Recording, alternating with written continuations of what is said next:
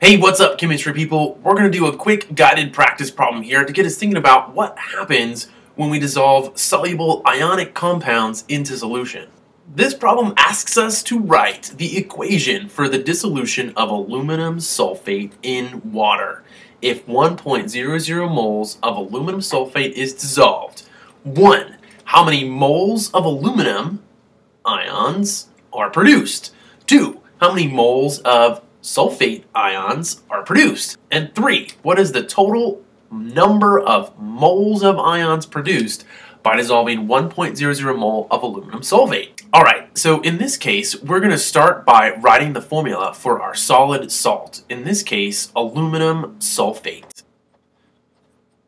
And we want to think about what happens when we add it to water. And in a situation like this, we often just see water written above the arrow. And you'll see how we let other people know that we've dissolved it in water when we write our products. So this is going to dissolve into our aluminum ions, which have a 3 plus charge, and our sulfate ions, which have a 2 minus charge. Now, this is where nomenclature is going to come back again and again and again, never going away. You have to recognize that when this compound dissolves, it's not going to dissolve into just one aluminum and one sulfate. The ratio of ions is a 2 to 3 ratio. So for every one formula unit of aluminum sulfate, we're going to form two aluminum ions and three sulfate ions. Or for every mole of aluminum sulfate that we dissolve, we're going to form two moles of aluminum ions and three moles of sulfate ions. Now, you may not need this to be spelled out for you, but I'm going to do it because sometimes you're going to have not just one mole, you're going to have something that's a little more difficult.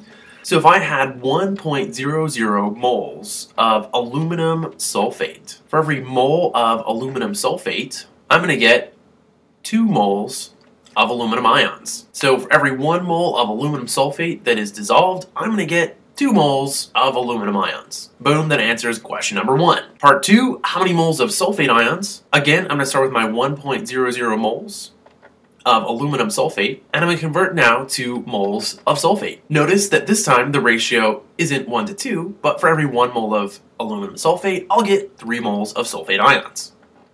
So I'll make 3.00 moles of sulfate. Boom, question number 2, done. Question number three is asking us, what is the total number of moles of ions produced by dissolving one mole of aluminum sulfate? Well, we made two moles of aluminum ions and three moles of sulfate ions for a total of 5.00 moles of ions. Boom.